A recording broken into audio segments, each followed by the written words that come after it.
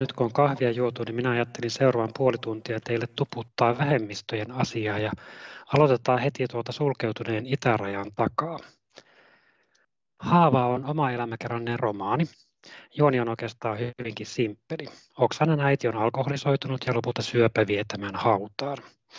Äiti tuhkataan ja ainoan jälkeläisen tehtäväksi jää kuljettaa urna ensin omaan kotiin Moskovaan ja sitten myöhemmin äidin kotikylään keskelle Siperiaa.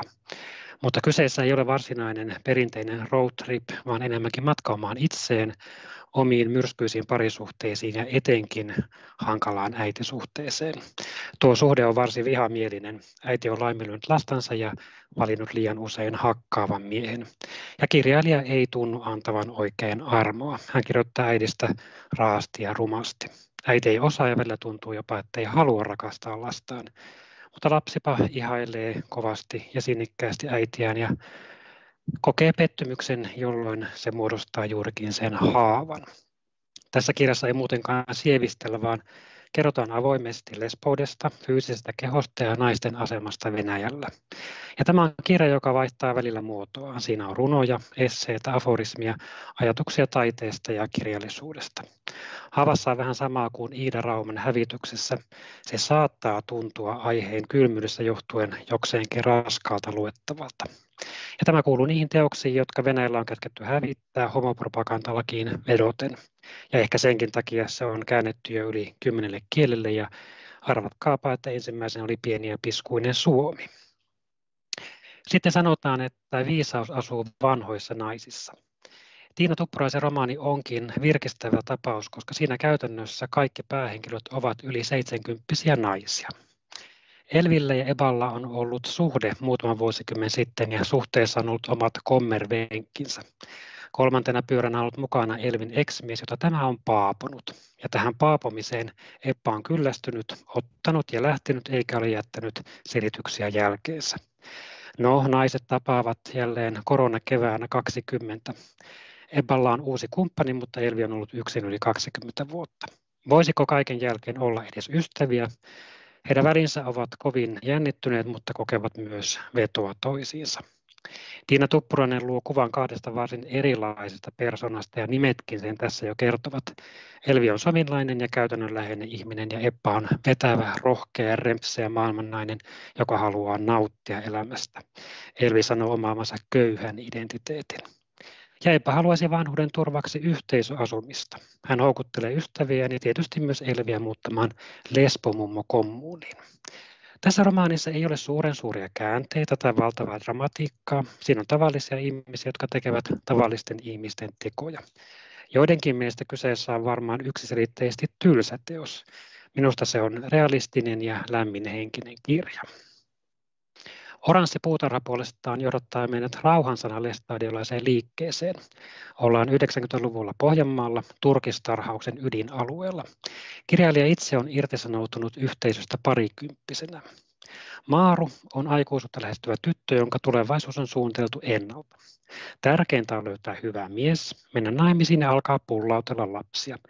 Tai ei sen miehen nyt niin hyvä tarvitse olla, kunhan tuo ruokaa pöytään ja on oikeassa uskossa.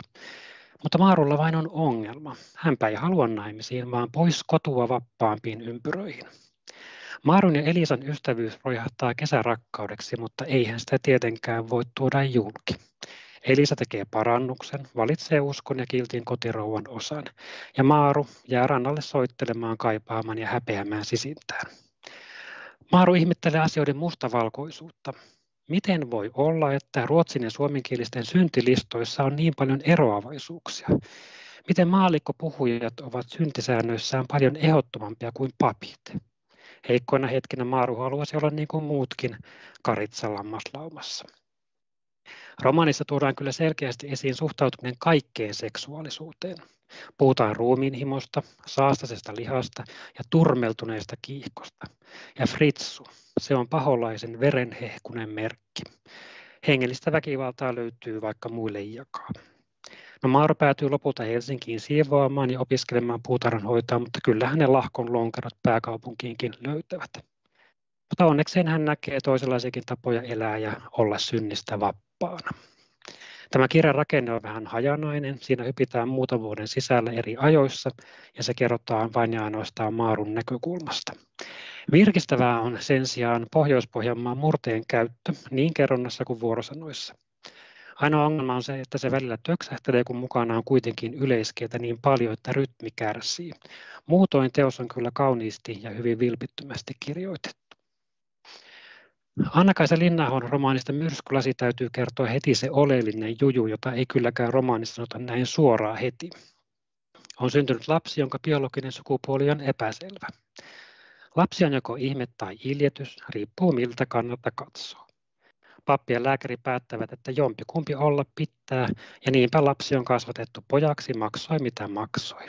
Ja pojan on pitänyt säästää perheensä häpeältä ja mielellään suoriutua kaikesta paremmin kuin muut. No tämä Kyösti sitten osallistuu jatkosotaan miehenä muiden joukossa, mutta eihän se tietysti ihan yksinkertaista ole, eikä kaikkien mieleen. Lopulta Kyöstistä tulee rintamakarvi. Varsinaisesti tarina sijoittuu vuoteen 1946. Kyöstistä on tullut Ellen.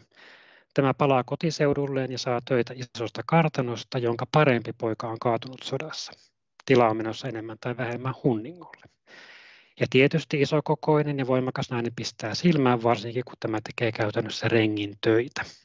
Siitä sitten seuraa monenlaista ja koko ajan on paljastumisen pelko päällä. Romaanissa kerrotaan myös tilan naapurissa asuvan Lydian ja tämän sodassa rampautuneen miehen arjesta. Sitä hallitsee vainoharat, pelkotilat ja painajaiset. Mieli on murtunut, mutta ympäristöhän sitä ei oikein ymmärrä. Ihmisen tuomiot ovat selvät. Hullu ja kylän kummajainen. Alun lämmittelyn jälkeen tämä romaani pääsee kunnolla vauhtiin ja Linnaho kuvaa selkeästi ja johdonmukaisesti tapahtumia. Omasta mielestäni hän olisi voinut syventää niitä enemmänkin, mutta nyt mennään vauhdilla, niin kuin nykyään romaaneissa ja näissä vinkkeissäkin tuntuu tapana olevan. Hän kyllä kirjoittaa hellällä otteella. Ihmisiä ei tuomita, vaan ymmärretään. Tässä romaanissa ei ole hyviksiä eikä pahiksia. Aavistus puolestaan alkaa Halloween-juhlista vuonna 2015. Teemana on sosiaalisen sukupuolen sekoittaminen. Jalmari pukeutuu mustaan pitsikoristeltuun mekkoon, laittaa jalkansa korkkarit ja peruukin päänsä. Ystävä viimeistelee olemuksen meikillä. Ja kun hän esittäytyy uusille ihmisille, nämä hätkähtävät. Ja Jalmari tajuaa, etteivät nämä näe miestä mekossa, vaan ihka oikean naisen. Ja nuo juhlat ovatkin sitten käännekohta hänen elämässään ja palattuvat pintaan lapsuuden muistot ja teinivuosien kokeilut. Alkaa itse tutkiskelu ja pitkä matka, jonka päässä on sukupuolen korjaus. Eskelinen kertoo välähdyksiä omasta elämästään siitä, miten Jalmarista tulee Mira. Hän kertoo pikkupojasta, joka haluaa leikkiä parpeella. Hän kertoo, miten on aina halunnut pukeutua toiseksi persoonaksi hän kertoo mielialan vaihtelusta, kun omat kasvot alkavat tuntua vierailta, sitä tunteesta, ettei olekaan täysin mies. Ja teoksessa käydään läpi myös pelkoja, joita tämä muutos aiheuttaa.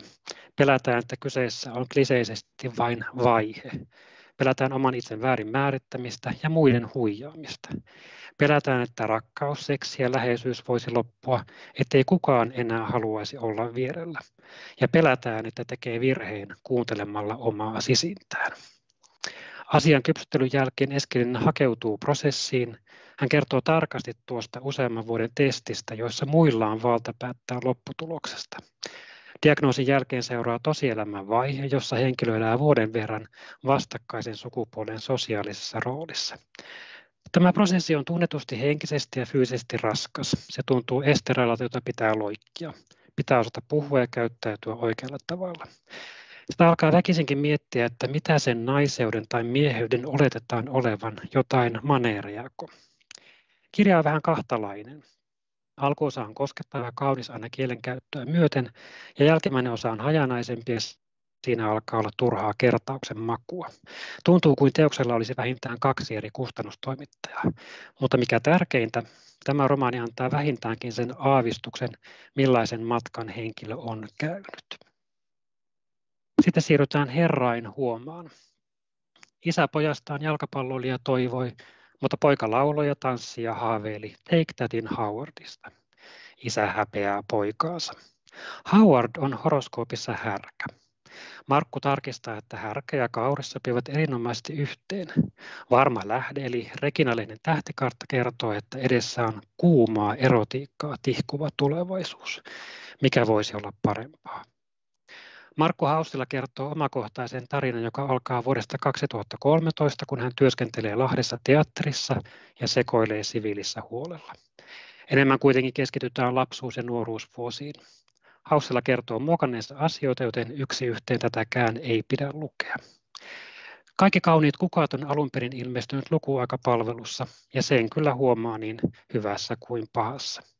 Romaanissa ei ole kielellistä kikkailua, ja jos ollaan kriittisiä, ei sen kaunokirjalliset ansiot ole mitenkään valtavat. Markku jumaloi äitiään, ja äiti on persoona, joka on luotu isompiin piireihin. Iskä ja äiskä rakastavat lähinnä kaljaa, tupakkaa ja huomiota. Kasvatusmenetelmänä on videokasetit, ja lastensuojelu on tuttu vieras. Markun koulukaan ei oikein suju, on kiusaamista, homottelua ja poissulkemista. Vihdoin kun tämä pääsee musiikkilinjalle, hän saa uuden ystävän, rikkaan perheen lapsen. Mutta se luokkaero, se on hävettävää. Minulle tästä teoksesta tulee mieleen Joonatan Tolan Punainen planeetta ja Greta Onkelin Iloinen talo. Ja kun käännetään asioita positiiviseksi, niin vaikka Hausilon teos ei ole suurta kirjallisuutta, se on erinomainen sisäänheittotuote. Sen konstailemattomuus ja suoraviivainen tyyli luonnollisesti madaltaa kynnystä kirjallisuuden pariin, ja sehän on hyvä saavutus. Sen sijaan enemmän ansiota minusta Rasmus Arikan esikoisromaanissa, vaikkakin sen nimi ei ole luovuudella pilattu. Toisaalta homoromaani on kylläkin kuvaava nimi ja antaa lupaukset, että ehkä tässä nyt puhutaan asioista niiden oikeilla nimillä. Hän sanoo kertovansa junan tuoman maakuntahomon tarinan. Romaanin ensimmäinen osa liikkuu nykyajassa ja siitäkin tulee vähän tunne, että olisiko kirjoitettu äänikirjaksi suoraan.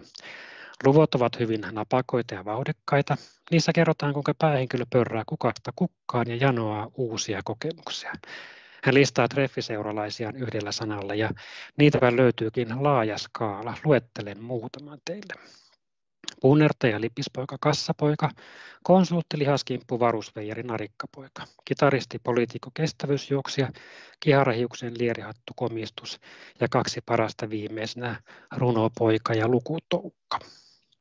Ensimmäisestä osasta tulee tunne, että tässä lukijaa valmistellaan johonkin vähän syvällisempään, ja toinen osa onkin sitä, vakavampaa ja menee lapsuuteen ja nuoruuteen. Päähenkilö tutustuu jonkun vuoden vanhempaan isoon poikaan, hänen kanssaan alkaa erilaiset kokeilut ensin viattomasti, mutta vuosien saatossa touhu muuttuu henkiseksi yliotteeksi ja hyväksikäytöksi. Romanissa on erinomainen katkelma, joka summaa kaiken. Joka kerta kun näin hänet, odotin ja toivon, että hän katsoisi minua ja sanoisi, pidän sinusta. Tai edes siitä, miten imin hänen munansa. Lopulta romaani kertoo kaunistelematta rakkauden kaipuusta, hyväksynnän halusta mutta myös pyrkimyksestä sopeutua massaan ja erityisesti itse innosta. Arikka onnistuu tekemään päähenkilöstä varsin vaikean ja hankalan ihmisen. Tämä lemppaa seurustelukumppanin suurin piirtein mielivaltaisesti väärästä lauseesta ja varsinkin heti, jos homma alkaa mennä vähänkään vakavammaksi. Sitoutumiskammo huokuu metrien pään. Mutta kun hänet sitten itsensä hylätään, niin ero sattuukin syvältä. Lopulta ne haaveet ovat arkisia tässäkin romaanissa. Minäkin haluan poikaystävän, joka osaa kysymättä tuoda minulle karpulla pizzan oikealla täytteellä ja ostaa oikeaa limua marketista. Ja kun olen sairas, hän tekee ruuaksi kasvissosekeittoa ja laittaa siihen purkillisen raijuustoa. Muutoksen puolestaan voisi summata yhteen lauseeseen. Se kertoo, miten huonoista lähtökohdista ponnistaneesta Eddie Belgelistä tuli palkittu kirjailija Eduard Louis. Kirjailija itse kertoo sen kyllä runollisemmin. Yksitellen pyyhin pois jäljet siitä, mitä olin aikaisemmin ollut. Häneltä on suomennettu kymmenessä vuodessa viisi teosta, joista esikoinen ei enää edi on varmasti se tunnetuin ja luetuin. Se on nuoren homon kasvutarina. Lui kertoo, miten hän pyrki määrätietoisesti muuttumaan, tekemään luokkanousun köyhälistöstä eliittiin. Jokainen edistysaskel, saatu oppi tai uusi tuttavuus vievät hänet henkisesti kauemmas omista vanhemmistaan. Ja näiden mielestä pojasta on tullut pyrkyri ja hienostelija. Kun poika pyytää äitiä menemään ulos tupakalle, tämä suuttuu silmittömästi ja haukkuu poikansa. Ja Edin nälkä kasvaa syödessä. Hän haluaa taidelukion jälkeen opiskelemaan Pariisiin huippuyliopistoon, hänet kun on tarkoitettu Pariisiin. Lui on erilainen käenpoika. Hän omaa varakkaita miehiä, jotka tukevat rahallisesti hänen elämäänsä ja kustantavat opiskelunsa. Ja Edi puolestaan ahmii lukemista.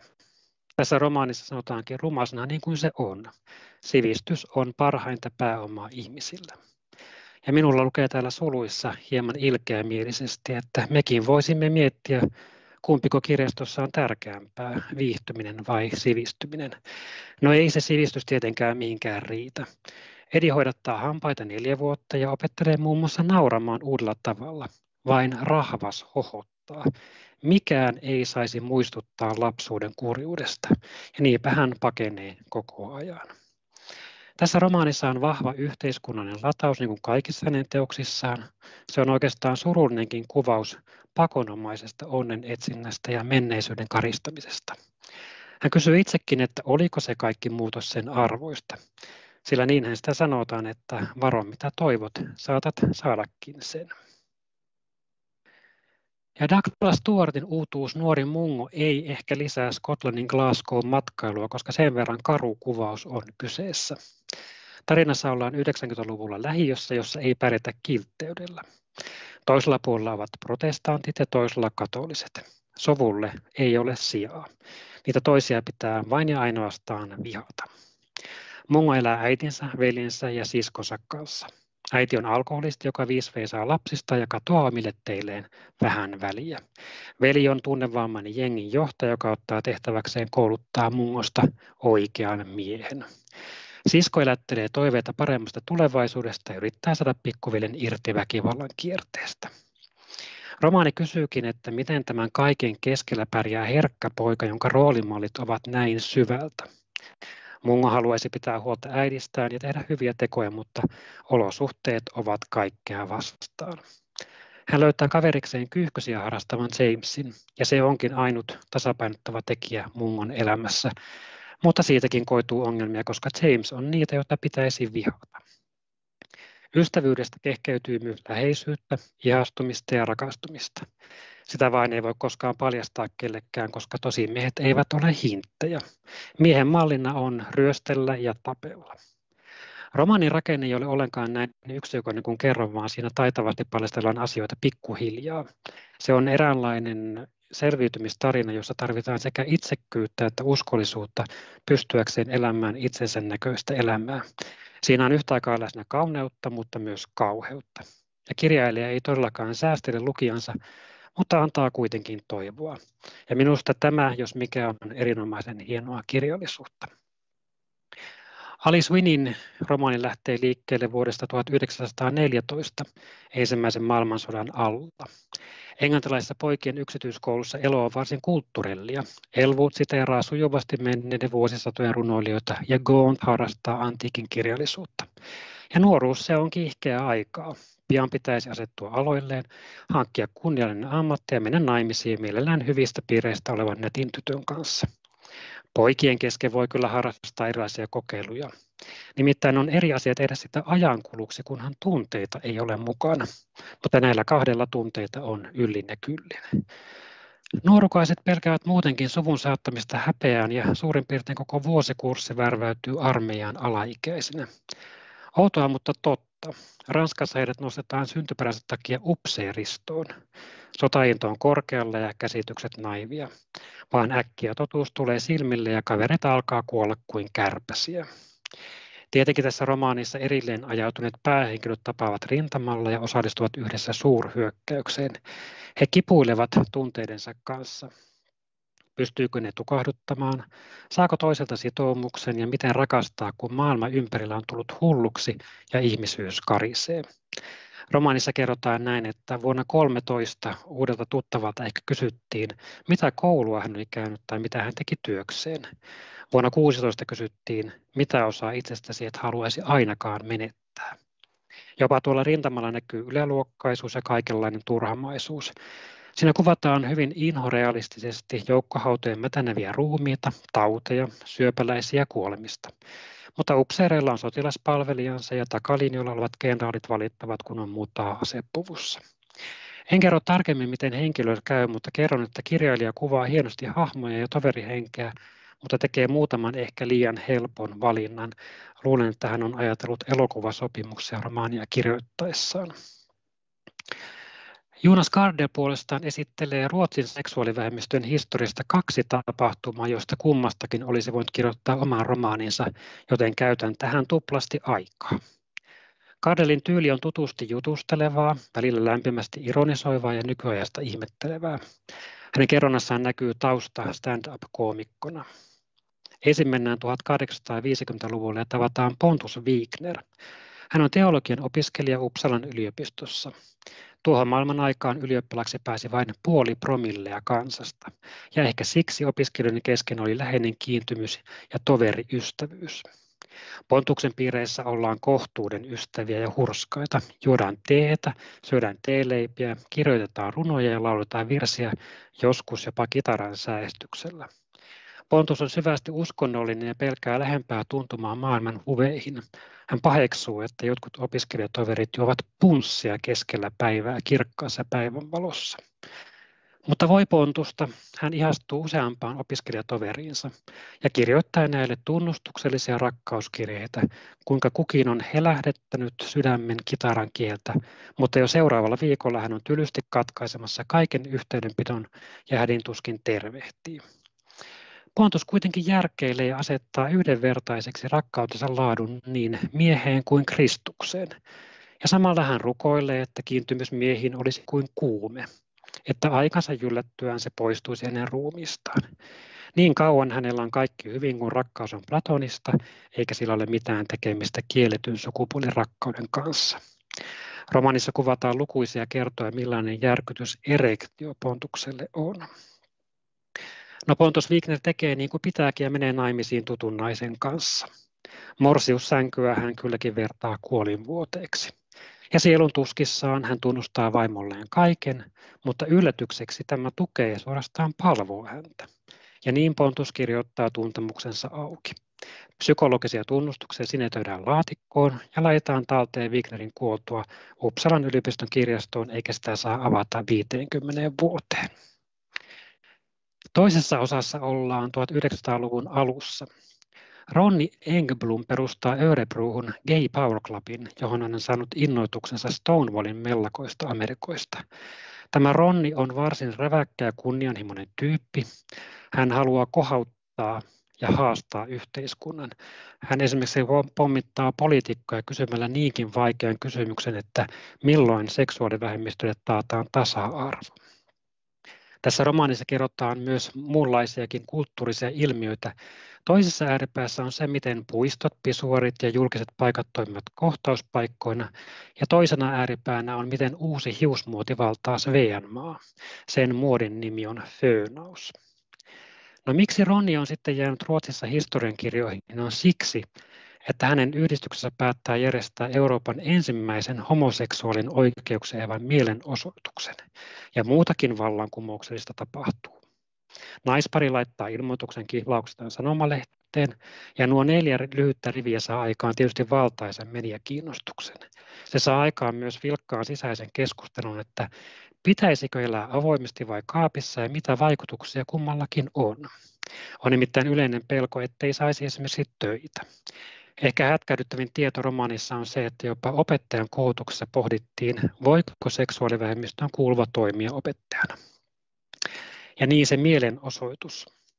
Örebruussa osallistujia on 12. Marssimatka on noin 200 metriä ja mielenosoitus on ohi reilussa kymmenessä minuutissa.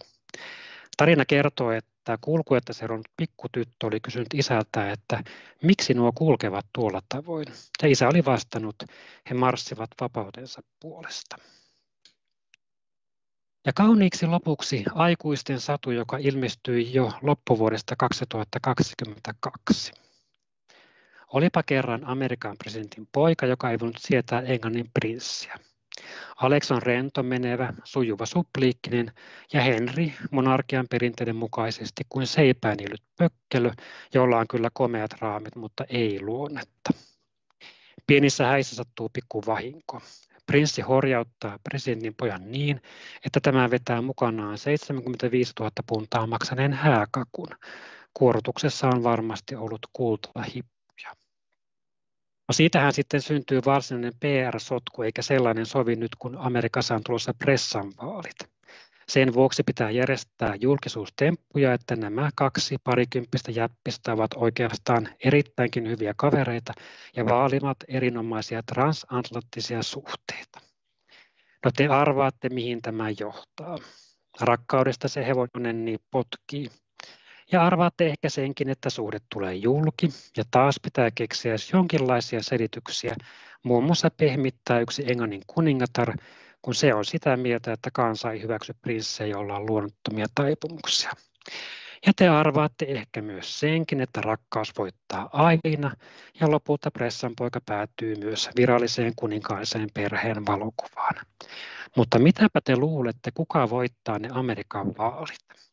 No kyllä, takapajuisin osavaltio muuttuu liberaaliksi ja se äippä voittaa viimeisillä metreillä että onhan tämä punaista, valkoista ja kuninkaan sinistä hieman höpsö ja hömppä romaani, mutta toisaalta siinä kuvataan hyvin raadollisesti kuuluisuuksien julkista elämää ja sen etuoikeutetun aseman kääntöpuolta.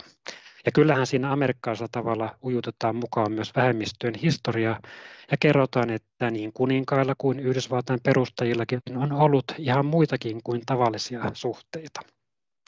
Omalla tavallaan tämä on varsin raikas romaani ja sitä on kirjastoissa sijoitettu luovasti niin nuorten kuin aikuisten osastolle. Erityisen moderniksi tämän tekee se, että miesten välissä seksin kuvailussa ei kurssailla. Kiroilua on paljon ja muutenkin ronskia otetta. Toinen mies saattaa sanoa toista kuumaksi ja että tällä on hyvä perse. En kuitenkaan halua tämän olevan esityksen viimeinen lause, joten päätän teoksen kannessa olevaan tiivistykseen, että tosi rakkaus ei diplomatiasta piittaa. Kiitos mielenkiinnostanne.